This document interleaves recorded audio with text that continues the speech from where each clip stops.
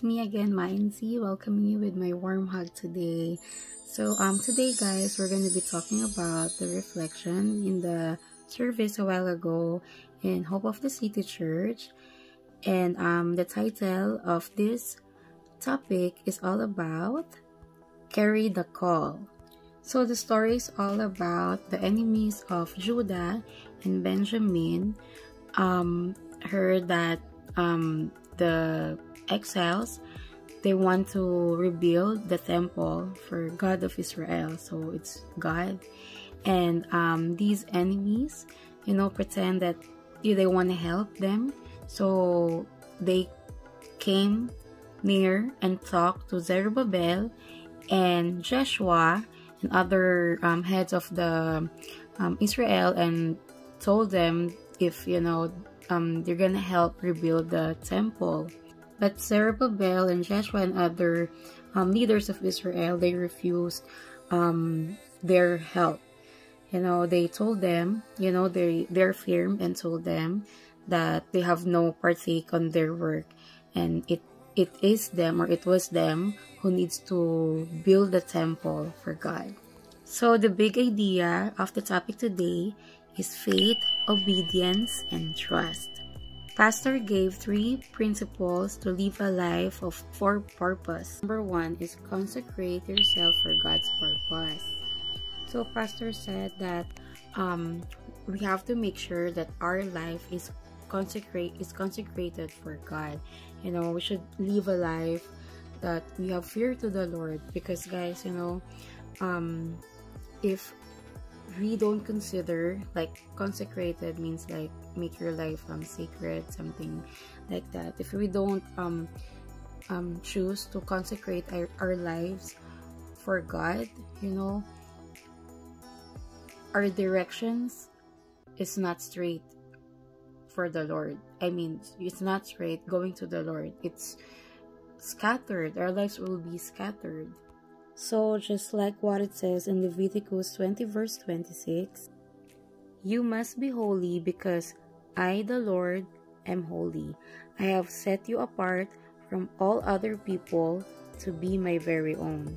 So, guys, that is um God's command, you know.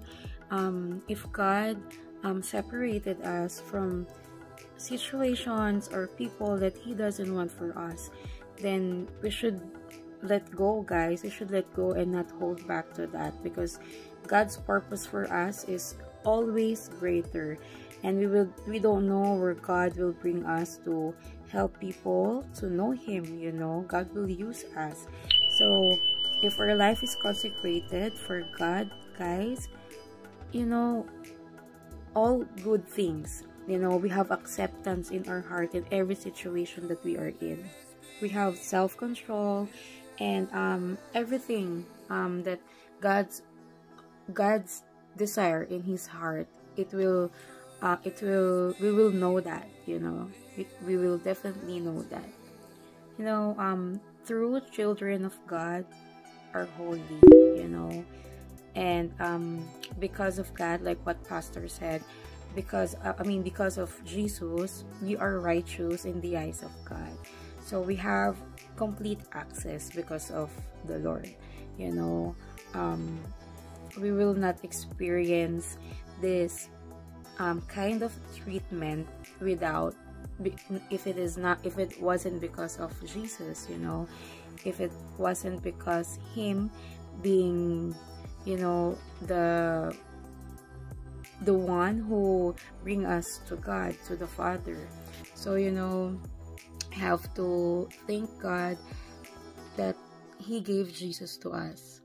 Always remember, guys, that consecration comes from within. You know, we need to understand that because um, we cannot just do um, good things outside, but it is different from the inside. You know?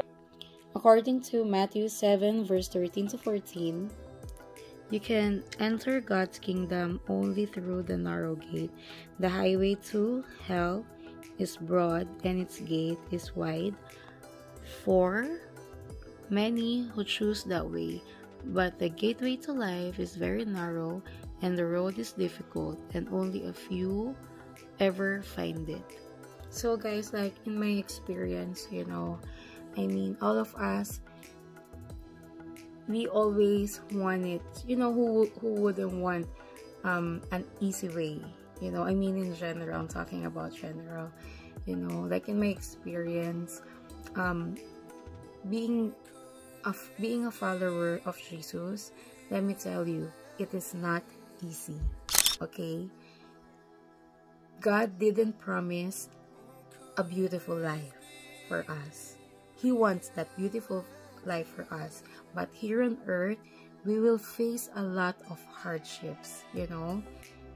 And what is beautiful in our experience of hardship is um, Jesus being the center of it okay so as human we tend that we always want easy life like this like that and us that we for we forget to um to put jesus in the center of it that we need to go through the needle you know to experience the things the, the hardships and everything. Because guys you know if we have um if if we know to how to um I mean like in Tagalog I don't know how to say it in English pagtitiis I forgot. But if we know that one guys we, we have um endurance. That, that's the word. We have endurance guys. You know that's where we that's where we we're going to know Christ if we have endurance in our lives. Because you know going to the kingdom of God we need to learn a lot of things. It is not easy. That's why that's what um you know like um in the bible said that like in matthew that we need to go through you know not a lot of people will find the narrow gate or you know like the the way going to hell is broad. And we don't want that of course you know. So we, we need to learn and accept that this life is not always easy. There's always hardships but never forget to involve god in our situation all the time put jesus in the center of it like what pastor said that obedience to god it is liberating when we obey god so you know obedience um it goes a long way, guys. If we obey the Lord, He is faithful to us as well. Don't doubt, guys, or be confused if, you know, the Lord is speaking to us. You know, um, God will say, wants a lot, uh, wants to say or wants to feel us a lot of things in in here. You know, He will speak to us, but you know, let's not put offense to that. You know, um, don't put don't put walls to that we need to um, um, accept it and don't be you know don't doubt you know because we just don't know um, how god will use us to make someone realize you know we don't we may never know that um, god will use us um, to be a testimony for some people you know that these people that us will be the eye opener for them to know Christ. So, you know, if God speak to us, allow God to come here inside. So, number two, guys, is create boundaries to protect your spiritual priorities.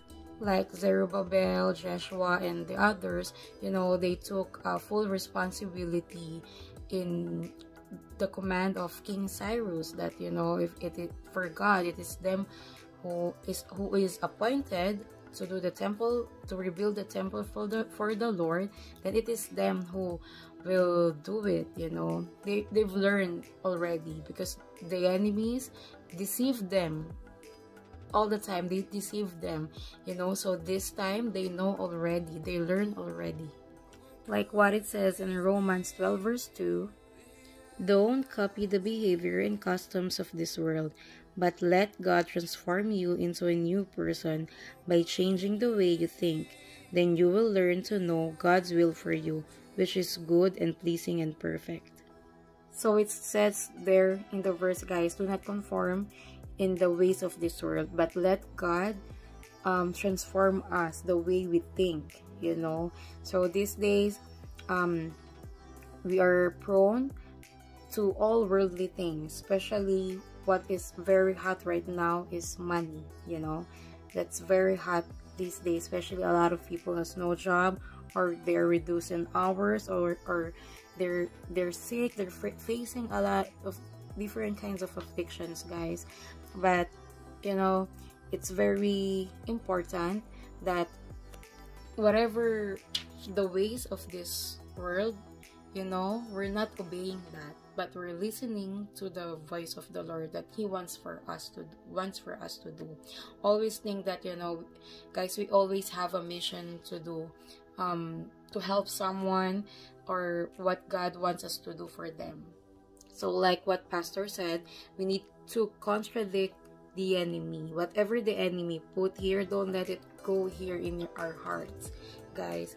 Because if we let the lies of the enemy to rule over us, we will never know that slowly we are moving away from the Lord. We are instead that we are stay connected to Him, we our faith will dwindle because what we hear is always just the lies of the enemy. So we need to be careful with that, guys.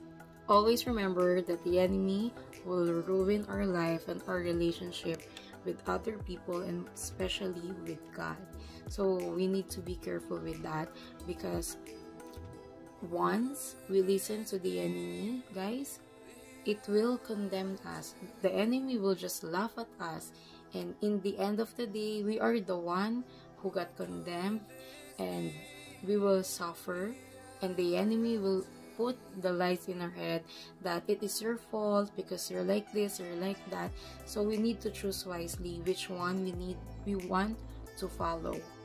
Let's read ephesians 5 verse 10 to 17 carefully determine what pleases the lord take no part in the worthless deeds of evil and darkness instead expose them it is shameful even to talk about the things that ungodly people do in secret, but their evil intentions will be exposed when the light shines on them, for the light makes everything visible. This is what it said Awake, O sleeper, rise up from the dead, and Christ will give you light. So be careful how you live. Don't live like fools, but like those who are wise. Make the most of every opportunity. In these evil days. Don't act thoughtlessly, but understand what the Lord wants you to do. So, guys, um, God, Jesus, how many times said in the Bible that we need to choose that we're going to believe or we're going to follow. You know, we have to be careful that not to be connected in the worldly things, you know, that's to the things that we will be away from the Lord that will separate us from God. It is true that the evil intentions will shine. Uh, it will. we need to expose the evil intentions. It will come to the light. But everyone who is Christ is within them. It will shine. It is only Christ, Jesus, who can give us light in these days, guys even before until now until the day Jesus comes back he is the light that will bring us to the kingdom of God so always think heavenly things that's rather than the material things or whatever that um makes us you know makes the things that we make as an idol in life. Not only things attitude everything guys. You know it's that makes us separate to the lord. We need to let go of that. So number three it says complete the work that god has laid in our heart. Just like joshua and zerubbabel you know and others um, who's um, rebuilding the temple with them, they have already learned, guys. Like what I said a while ago, they've been deceived for a long time and now they're not gonna let these enemies deceive them again. There are times guys that um we were we are doing the work of god but then for some reason it stopped. You know like what happened to them? For how many years you know like for how many years they were so eager you know they're excited to do to do that but then it's just it stopped for some reason you know? That happens in our life too guys. But always remember that what whatever god wants us to do in the end we will be able to finish that. Don't let the enemy tell us otherwise guys. You know that enemy like what pastor said has no pity on us. In the end of the day guys it will condemn us you know? And it will tell us that we are not worthy for God's love but that is not true you know? This this is where we can get all the answers guys here in the Bible. Everything is here. Open up your Bibles guys and you will see there that God wants us to come near to him especially if we if there are things that you know we make sin you know? Don't be shy. Come near to the lord. In, rather than you know um blaming ourselves or thinking about the sin that we did before or right now come near to god guys. He's the one that we should need to talk to. It is jesus you know no one else. So our bible bible verse sorry guys so our bible verse of the day is from ephesians 5 verse 14 and it says there this is why it said it is said wake up sleeper rise from the dead and christ will shine on you. So that's our bible verse of the day. Always remember guys that the lord jesus is the light in our life you know. We may we, we may be or we are a sinner you know we may we so, you know somewhere in our past or in the present time we're doing a sin but never forget to stay connected to the lord you know. He is the key that will unlock all the pain that is right here inside guys that is right here and here that keeps bothering us, you know, that keeps tormenting us. God is the key, you know. Jesus is the key. You know, ask the Lord for the Holy Spirit to help us, guys, you know, and the light of God will shine upon us like what He promised here in the Bible, you know. Everything that is in the Bible is for us. Everything that is not in the Bible, guys, we don't follow that okay? So that's it for today guys. Um for more information about the topic today for the our reflection today i will put there in the screen the link for the for hope of the cities um saturday service uh preaching today. So um i hope um i encourage you guys and thank you for um patience with me for um, watching this. And if I there are things that I I want to explain but it's hard for me because I'm trying to um, communicate with you guys in English. So you know we can reach our our uh, our hands are will extend to a lot of people so they can understand too. Because I have some coworkers who told me that they watching my vlog but it is in my language.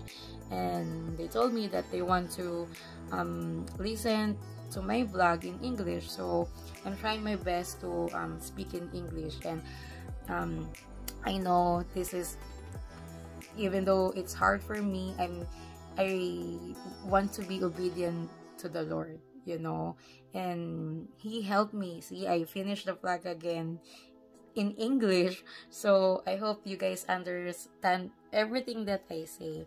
Anyway, guys, um, take care always. Know that I am always praying for you and your loved ones. All of you guys are watching this video, God bless you. And I'll see you again next time. Um, have a blessed weekdays. Bye, guys.